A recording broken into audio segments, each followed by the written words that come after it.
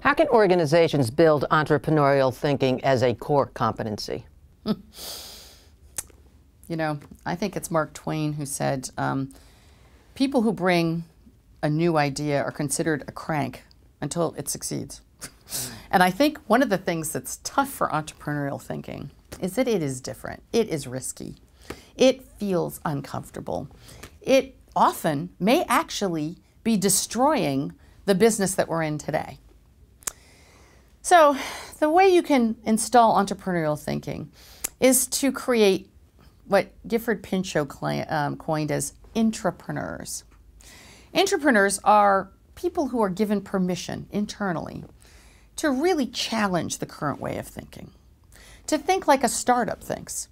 And I'm very familiar with this because we're a third generation family business. And so we are kind of like a 35 year old startup. And so we have an entire entrepreneurial effort happening in our company. And that really requires an openness and some protection for some new thinking to bear. And my eldest son, who's bringing a lot of that entrepreneurial startup thinking into the organization, is challenging things left and right. And that may mean that we no longer do things that we've done for the last 35 years. In fact, it does mean that.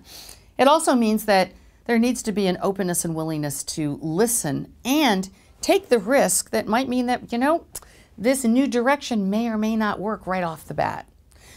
So, finding a way to create that startup culture inside an organization is really critical. If you can't do that, if the culture of your organization is so pervasive and so risk averse, I strongly recommend organizations that they actually take a subculture and put it outside their culture and let that group work uh, as a startup amongst themselves.